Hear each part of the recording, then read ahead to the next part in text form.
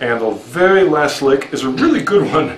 At least um, it's a good good for your technique because it's all E minor, wonderful key for guitar, starting on F sharp, and I do sixes.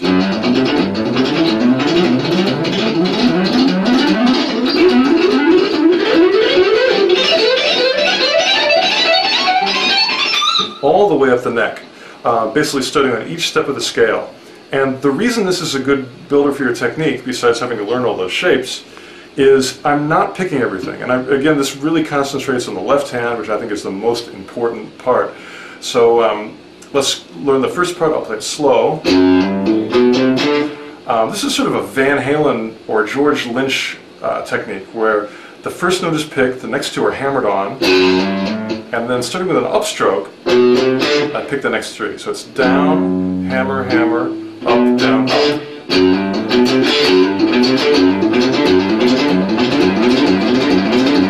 So let's have a look at the right hand again. And down, up, down, up.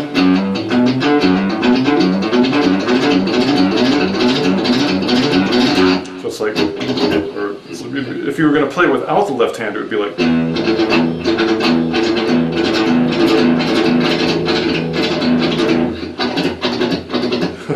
Sometimes I do it without the left hand just to focus on the uh, on the right. And let's I'll play each one slowly so you, you can get it. So, uh, next one starts on G, then A, B, C, D, E, oops, F sharp. Here I, I shift to a new set of strings. Let's go to the A string, down here in 10th position. A, B. Here I think I still stay here for the C. Then the D is going to be on the D string, shifting strings to the 12th fret.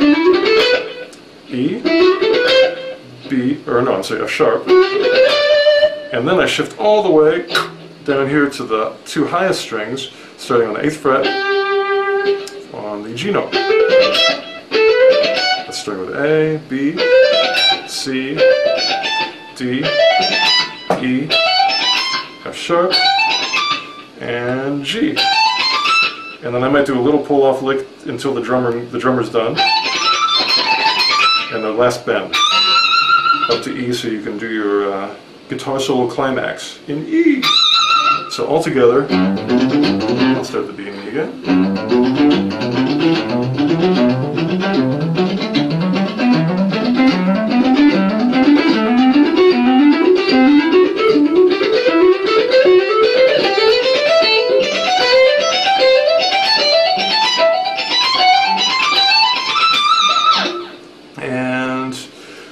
Think the last thing I'm going to do is I'm going to put on my phase shifter because that always sounds good with a phase shifter. And I'm going to turn my volume up, and here we go.